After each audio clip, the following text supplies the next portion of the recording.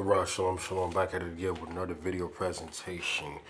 And we're gonna get right into it. Uh, we're gonna go into um, the Y-DNA results of Adolf Hitler, and we're also gonna show you guys on how looks can also be quite deceiving. The same way on how you have phenotypically people who look black, but when you take the Y-DNA results their ancestry really goes back to Europe. The same thing also happens to some white people, man. You also got people who look Caucasians based upon the phenostructure and in phenotype, and you're gonna find out when you take a Y-DNA results of Y-DNA testing on the paternal side of the family, you're gonna find out that they also have black ancestry. And so we're gonna get into the Y-DNA results of Adolf Hitler. And this is on the Haaretz.com.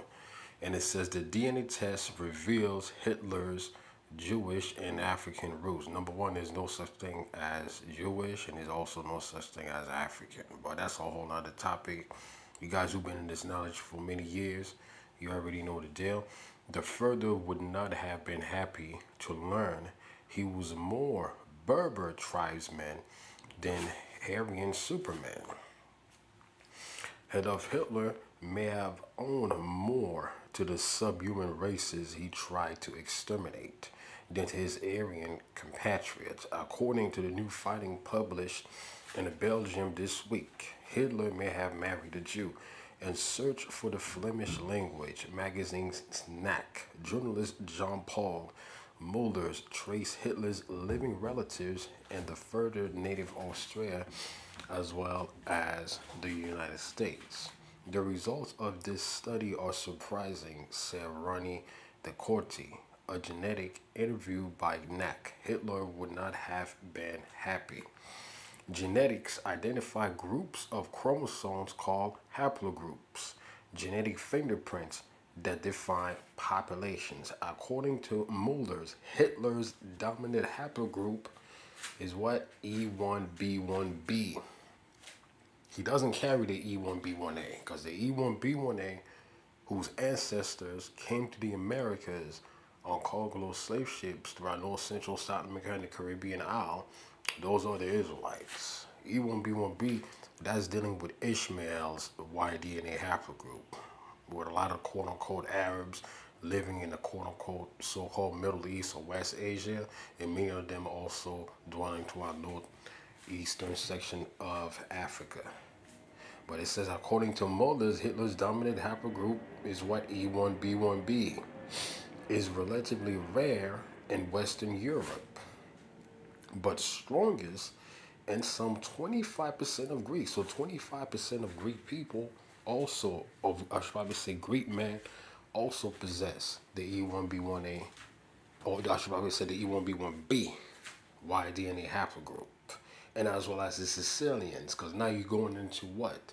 You're going into the Moors, the Moors of Spain, Portugal, and the black mobility of Europe. Because you're going to find out that those Moors who were ruling throughout that region, when you study their Y-DNA, their Y-DNA is E1B1B. Those Moors were Ishmaelites. You already know that the Arabs of antiquity are also black. And it says who apparently acquired the genes from Africa. Between 50% and 80% of North Africans share Hitler's dominant group. Yeah, the northern eastern sections of Africa, when you check out the continent of Africa, you're going to find two haplogroups over there, E1B1B, and then you're going to find E1B1A up in West Africa. You see? So when you're dealing with the majority of the Ethiopians that you see on a day-to-day -day basis, the people of Eritrea, and so on and so forth, they also carry the E1B1B Y-DNA haplogroup. Those are not Hamitic people. Those are not Hamites. The Hamites live on the outskirts, and they carry the, if I'm not mistaken, the A1F haplogroup. That would be their genes. But most Ethiopians and Eritreans, Northeastern Africans that you see, the majority of them are Ishmaelites. And as well as most of the Arab countries also. whether you, whether it's um, Saudi Arabia and so on and so forth, they also carry the exact same Y DNA paternal genes as who, as Adolf Hitler. So more than likely, Adolf Hitler's forefathers, they could have been one of the Moors or one of the black mobility who ruled Europe because they also had concubines. They also lay with white women. So he had a black paternal ancestor who laid with a white woman, and generations down the line, all of his descendants, male descendants, laid with other white women to produce him. And that's why Adolf Hitler looks the way that he looks. But Adolf Hitler is not a white man. He looks like a white man phenotypically, but his lineage is he's he's actually a quote unquote Semite or a Shemite. He's an Ishmaelite or a black Ishmaelite. That's his lineage. This is why I'm gonna say it again. I said it plenty of times that looks can be deceiving until you take that Y DNA test. So it says uh, between 50% and 80% of North Africans share Hitler's dominant group, which is uh, especially prevalent among in the Berber tribes of Morocco, Algeria, Tunisia, and Somalis. This is where you find a lot of the highest concentration concentration of the Y DNA chromosome, the Y DNA genetic marker E1 B1B. More surprising still, perhaps, is that Hitler's second most dominant haplogroup is the most common in Ashkenazi Jews.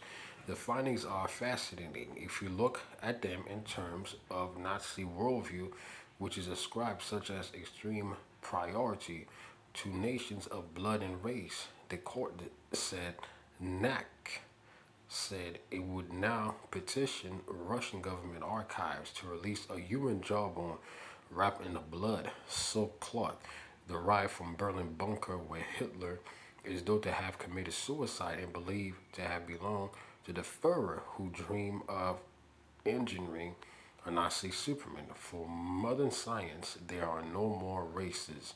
Decorte said this pure type of Superman and Nazi breeding programs to perfect purity will share fabrication. So the bottom line is simply this Adolf Hitler, yeah, he looks like a white man based upon his phenotype, his phenostructure, his hair texture, but guess what? They have his DNA sample, and his DNA sample, Y-DNA, paternal lineage, is E1B1B. Because you guys already know, based upon the scripture, your nationality, your lineage is determined and predicated upon the seed of your father. So I'm going to stop this video and I'll be back for the next one and I say shalom.